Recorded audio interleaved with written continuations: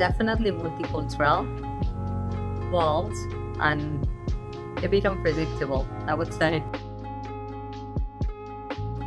For me, accessories are like amulets. I wear things that have a meaning to me and that transmits some sort of feeling and emotion and give me strength.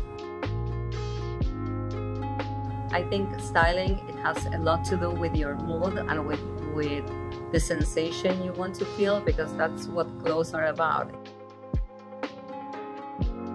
Minimizing waste, long lasting, and make being able to like reuse and pass on it to different generations. And if you can support an artisan while you're doing that, or a, you know, like a family business that has been existing for many, many years, I think that's a plus. So my favorite thing about Miami is that you can start your day by going to work and you can end your day at the ocean, inside the ocean, uh, watching the moon rise.